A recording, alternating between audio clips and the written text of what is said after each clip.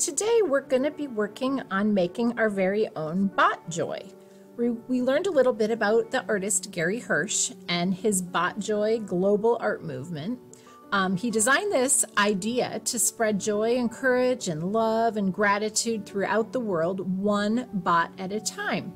And he would love if people would copy this idea. So we are going to be making our own little bots today. Um, we're going to begin by thinking about some basic shapes that we want to use to make the head, the body, the legs. Um, you want to be thinking about what type of a bot you want to make. We're going to be keeping these all positive bots, so we want to be thinking of positive traits. We thought of a few here at the bottom, and we can brainstorm some more as a class. But we were thinking of love, joy, funny, musical, helpful, friendly, kind, brave, thankful, peaceful are all great positive emotions. Um, these are some of the symbols you could think about, or you could create your own symbol. Here are a few of the bots that Gary Hirsch has made, um, just to give you some ideas. And you can see that they're they all are a little different. They use some basic shapes for their heads and their bodies. I do have a step by step that will help you just follow um, to get be started, but really you can make your bot any way you like. Here are a couple of mine. Um, you're going to be using a little piece of white cardstock, and you're going to begin by thinking about a head. And you can do whichever head you like. There are some ideas of heads on the back of the paper. Um, so you can choose whatever shape you like. And we want these to fill our rectangle. So I don't want to make a tiny little head like this. I wouldn't have room for a face or anything, but I could make that into an eye or a nose on my bot. So I'm gonna go ahead and make a bigger head around it. It does not have to be perfect. These can be any shapes will work. You could think about making a neck for your bot or you could connect the body right to your head. It's up to you how you want to do it. You could add, let's see what says to add a head and a body.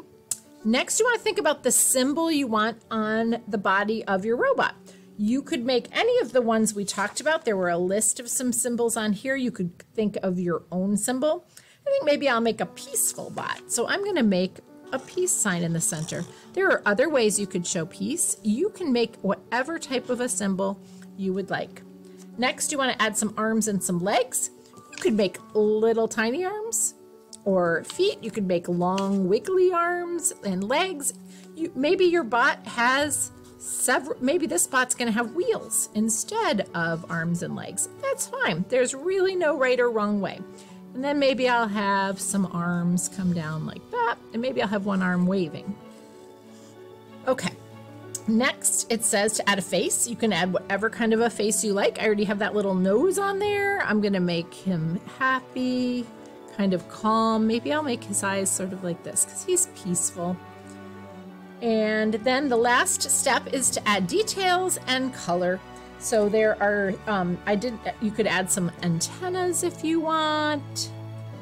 You could add some, and again, all different ways are fine. Maybe a little hair on this guy I can make. Maybe he has a um, little button panel, like a lot of robots have some buttons and different knobs and things. You could add hands. And then you can add some details, some patterns on the base of your robot. It's totally up to you. And the very last step is to add some color. And you can use some markers or some crayons or some colored pencils, whatever you like. Have a lot of fun with this. Don't forget your name and your class code on the back in pencil, please.